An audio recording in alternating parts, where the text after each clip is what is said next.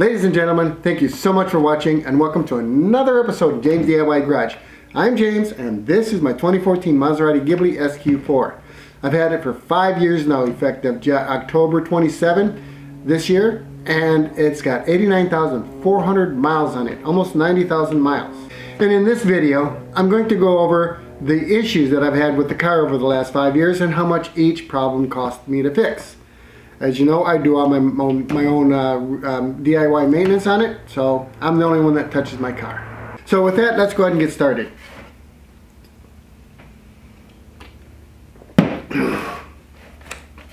It's just a, a nice, relaxing video. I'm not going to be doing any work. I'm going to start out with saying that uh, there were three recalls on this car when I got it. First recall was uh, coolant sealant. Now uh, there was they they said that uh, there was a seal. I may I don't know. They didn't say what seal. They just said there's a seal that will leak if it's not you know if they didn't put this uh, sealant in. So they the, the they didn't replace the seal. All they did was uh, I guess because it's internal to the engine, they just put uh, sealant in it. So. Um, when I did my coolant um, replacement, I went ahead and put some sealant in it as well. It has not leaked. I have not had any fluid loss at all. So no coolant loss at all. But the, the, uh, the, the recall was free as well. At the same time, they did another recall. There was a cable underneath the driver's seat that was getting bound up when they moved the driver's seat back and forth. And they fixed that as well.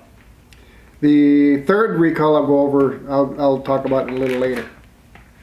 But uh, the first issue that I had with the car, which did not down the car, was I changed the headlamp bulbs. The, the I can't remember which one. One of them started to go uh, turn yellow, the dark yellow, and it was uneven. So here's the video to my headlight change. You have to remove the front bumper in order to change the headlights. You got to pull the headlight assembly off to change the headlights. Um, I paid $69.88. This happened June 28, 2018. And had, the car had 60,908 miles on it. So um, I got the, the headlights. They were uh, Osram Xenarc DS3s, HID DS3s, uh, xenon bulbs.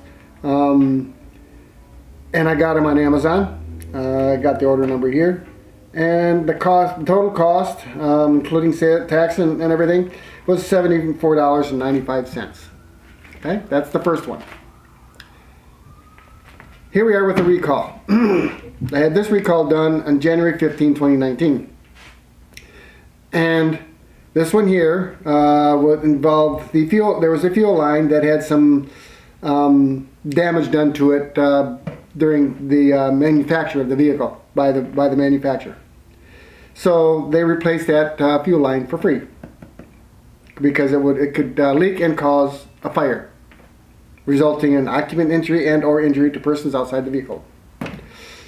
So I had that done. I don't it, I don't remember the mileage that was on here, but it was um, more it was more than sixty four thousand five hundred fifty nine and less than um, seventy thousand. So. right around there. Now I didn't record the mileage on here. At any rate, I know the date though. It was January 15, 2019. Um, then I got my uh, 70,000 mile uh, services here. Those, those aren't brakes. Oh, here we go. Replace battery.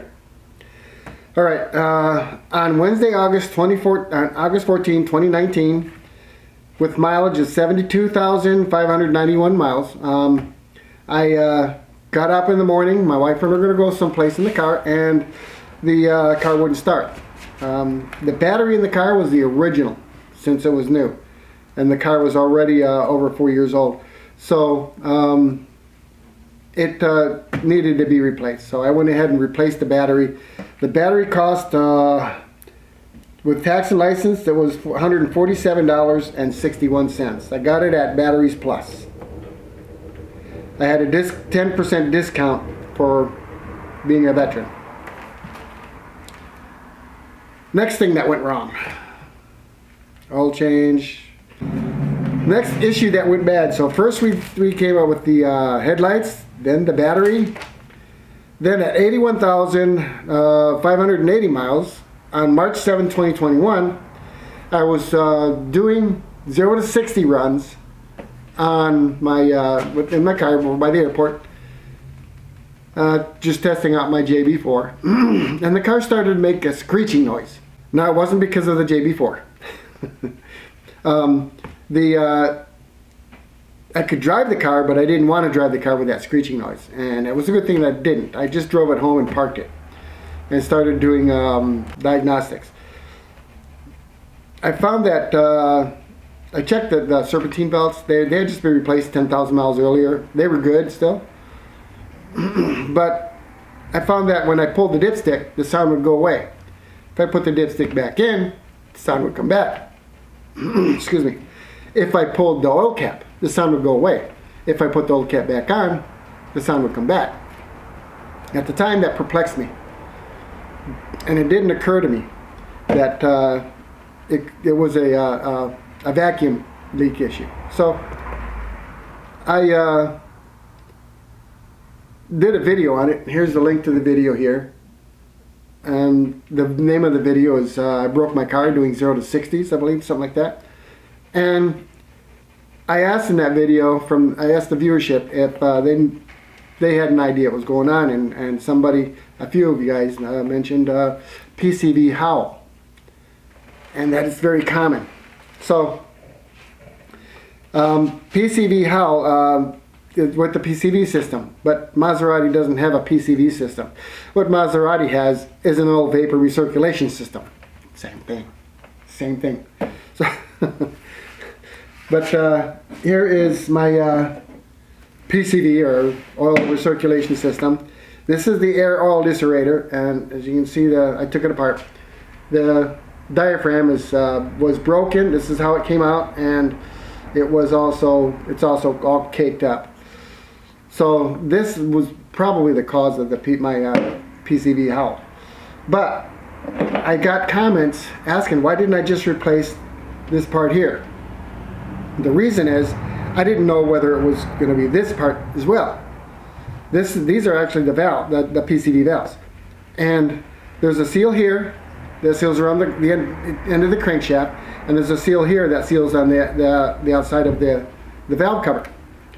Then you have one on each side. Okay? It goes to, got two tubes, got a T that come, comes to this, and then this goes down to the turbocharger.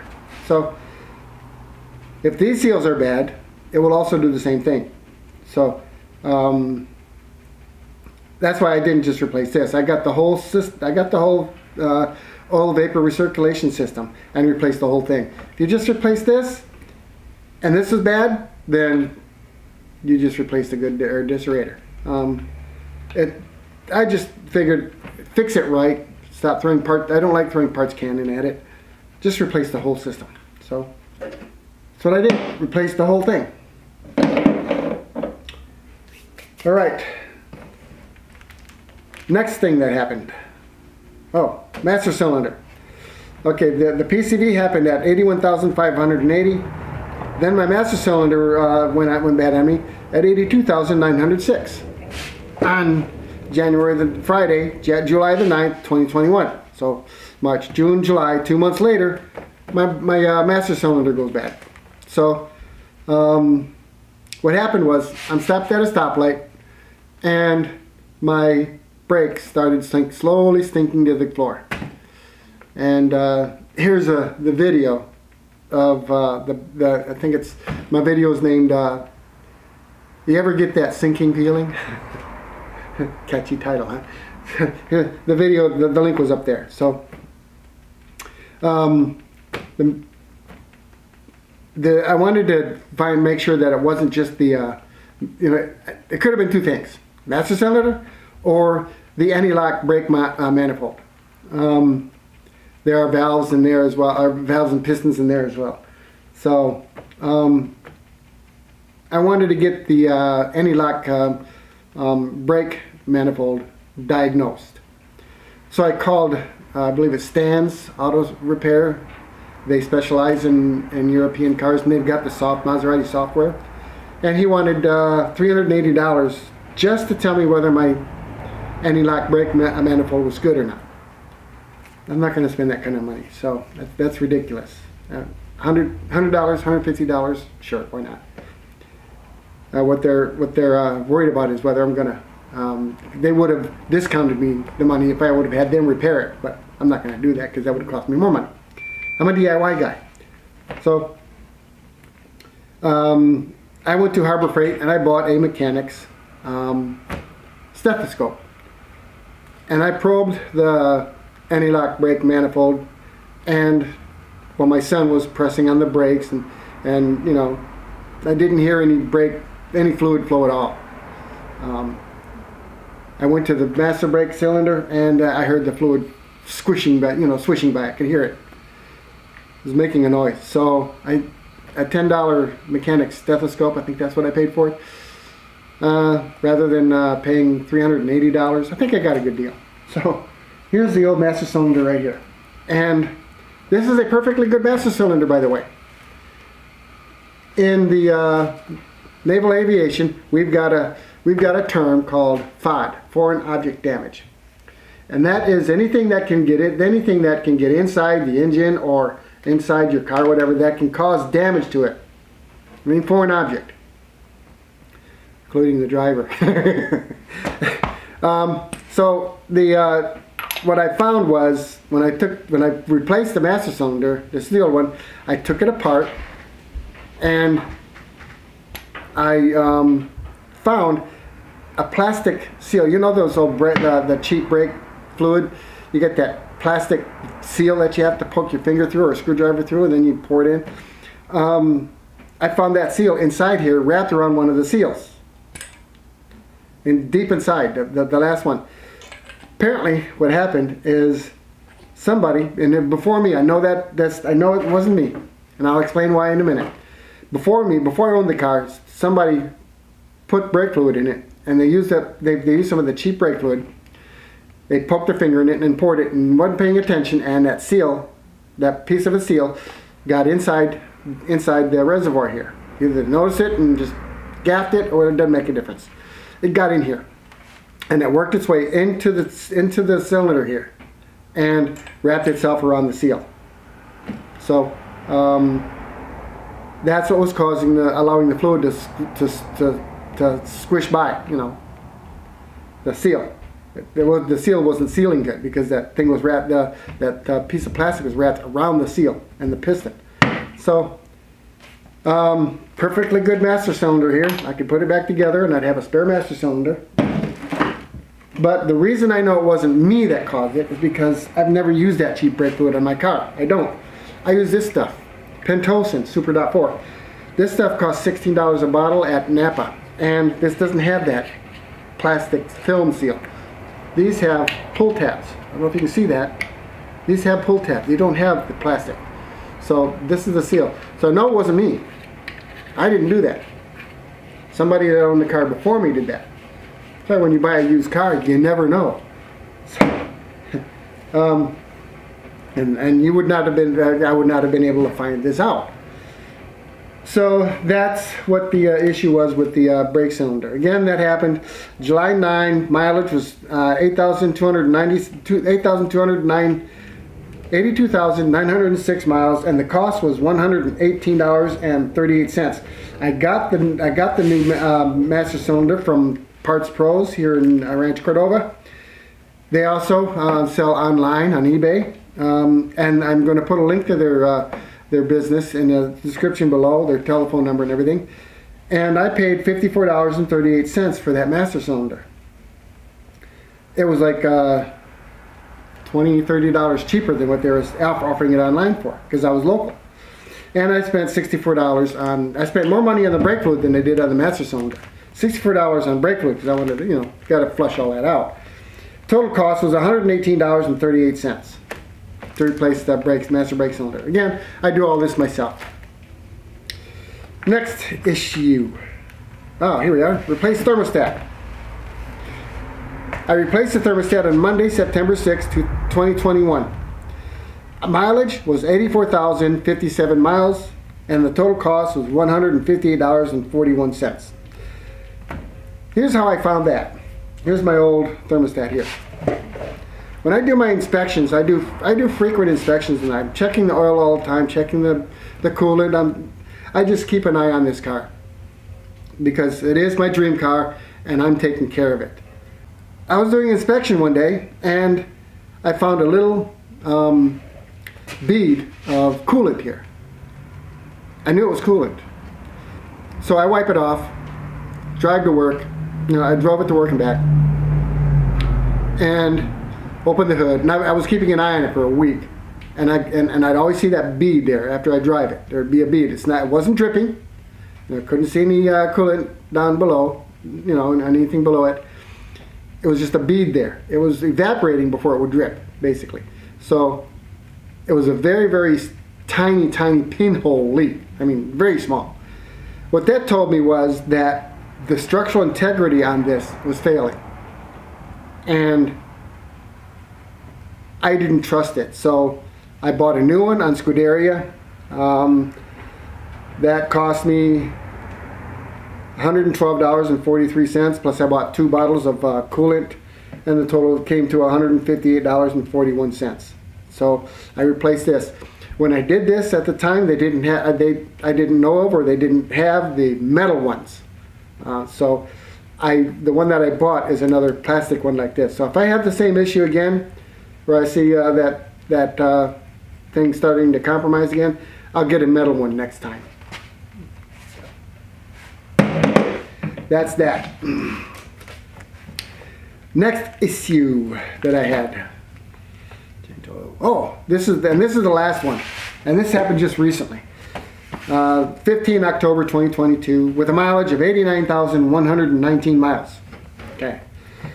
I was I got up got up to go to work, got in my car, started it up, warm let it warm up as I always do. I let it warm up for a minute uh, for a couple minutes before I put it in to gear. And the uh, when I put it in reverse, you expect the backup camera to come on, and nothing showed up. It was black screen. So as I put it in park, put it back in reverse. Same thing. I'm going back and forth. It wasn't working. So I drove to work and played with it at work too. I did put it in reverse and it, it wasn't working. So when I got home, I disconnected the battery for 30 seconds and um, put plugged it back in, reset the, as you always have to do when you disconnect the battery for, for, for, for any amount of time. You have to reset the, the parking brake. Um, have, the parking brake needs to relearn where it's at. Um, and it still didn't work. So I took the lining off the, the trunk and I unplugged the connector. Here's the old back, backup camera here. I unplugged the connector, plugged it back up, and tested it again. Same thing. It didn't work. It would just it just didn't want to work. So I called Parts Pros again and asked them if they had one of these, and they did. Um, I also went online and I, I, I, saw that they had one online. Um, and online they were asking 200 and some dollars for it, $250 for it. And I called them and I told them I was local and I reminded them I had already bought uh, you know a thermostat from them. I was, and I mentioned them on I mentioned them online and so he sold this to me for $150. Um, and uh, with tax and everything was $163.13. So I replaced it myself. Here's the video. And if I forgot to mention that the, there was a video, you can find all my videos if you go to my video section and you'll see all of my videos in there. And you can see, you, will be able to find the videos where I did my repairs, as well as all of, all of my maintenance videos. So, that's it. So, five years, five years of ownership, I have spent a total of, the battery was, uh, or the headlights, $74.95. Battery was $147.61. Oil vapor recirculation system, $434.16. the brake master cylinder, I spent $118.38. The thermostat, I spent $138.41. The backup camera, I spent $163.13. Over five years, in order to fix all the issues that I've had, I spent $1,076.92. 1,007, 1,076. 92 cents. That's that's it. That's all I spent to keep this car on the road, you know, as far as repairs. And it only down the only time I couldn't drive the car was when I did the oil vapor, the master cylinder, and a thermostat, the brake master cylinder. Those are the only three times that I didn't that I couldn't drive the car because of the issue. And the car wasn't down for long, and it didn't cost me much to fix. So I do all you know I did it all myself. I've got all the videos that you know and, and on my channel. If you guys have similar problems, you can do those videos. And remember, all these videos, the, the, the, maintenance and the, the, the repairs that I've done to my car, I had done all of that for the very first time myself. I'm not an expert in this. I'm not an expert mechanic. I just know how to fix things. I know how to take things. I'm an engineer at heart. So, um, as well as uh, I've done some mechanic. You know, I've done a lot of. Uh, I've been I've fixed my own cars for years. I've done it. I've always done it. And I was a jet, in, jet aircraft engine mechanic in the Navy too. So I figured, well, if I can fix a jet aircraft engine, this is a piece of cake. So, and these are real easy to work on too. There's, I mean, compared to a Audi or a Mercedes or a um, uh, uh, you know, uh, a BMW. These are these are easy to work on, easy peasy. I mean, everything's right there. I mean, and it's, it's very simple compared to those, those uh, you know how you know how Germans like to make you know their engineering is so complex. I mean, come on, water cooled alternators. Um, you got the. You got well, Toyota does this too. You got the starter in the valley, um, or your turbochargers in the valley, or what they call a hot V uh, engine for the, the, the turbo turbocharged V8s. That turbos are inside the valley, so you got your your exhaust ports are in the inside, and your your intake valves are on the outside, opposite of what this car does. Um, you know, uh, very the Germans have very complex engineering. The Italians like to keep it simple, and I like that. That's why I have an Italian car. Yeah, some Italian cars aren't reliable.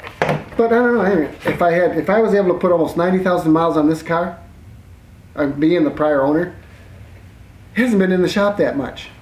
You can't put that much mileage on a car that's not reliable. It's impossible. So that's that's my take on it. I hope you enjoyed watching the video, as well as I, as much as I enjoyed doing it. If you like the content of this video, please consider subscribing. Leave me some comments, please. Tell me what you what you think of uh, the repairs or you know my video. Um, watch my other videos and comment, uh, like those and comment those as well. Um, thank you so much for watching. Subscribe if you haven't already subscribed. Please consider that. And uh, with that, I'd like to thank you for watching again.